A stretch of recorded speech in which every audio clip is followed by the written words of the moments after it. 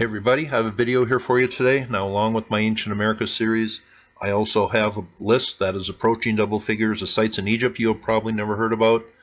And I know we are all used to the videos from Giza and Saqqara and the places we are we have all heard about. Well, there are a lot of places you haven't heard about. Today we are going to go down to a place west of the Nile, and this place is about 4,700 years old. And I know a lot of videos that are made about Egyptian sites kind of say, hey, there was somebody here earlier, but this, I have no problem with this being built around 4,700 years ago, maybe during the third or fourth dynasty.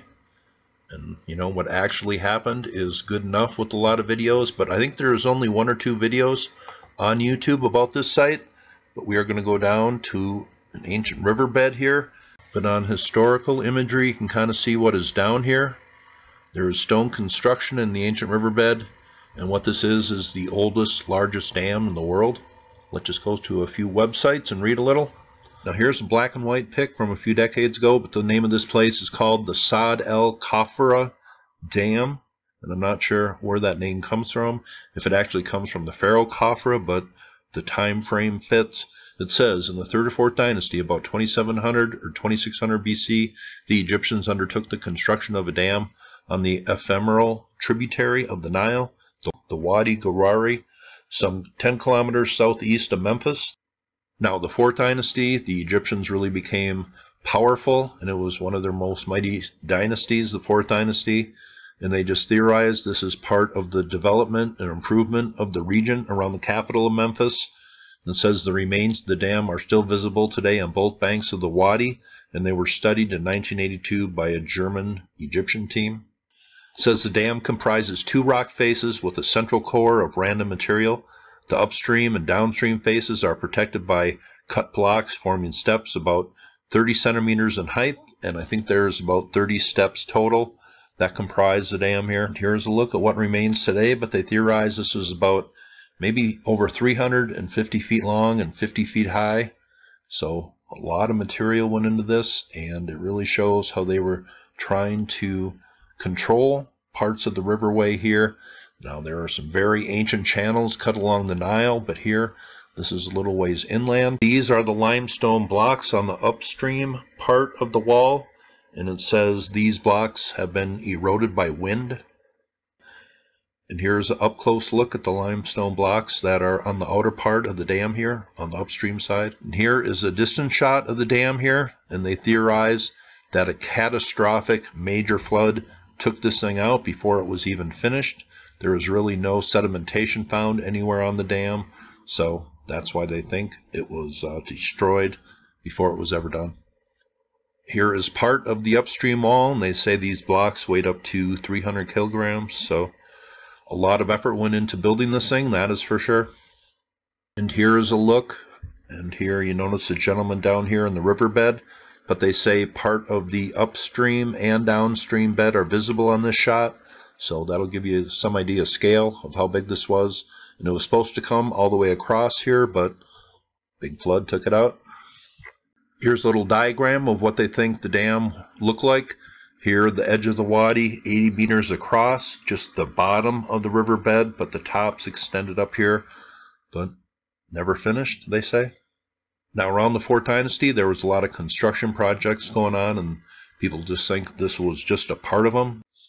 And a lot of people say the Great Pyramids were built during the Fourth Dynasty, but to me, I think it is much more likely that they were just improving them and reconstructing some original structures that were already there and improving the monument that we call the Sphinx today.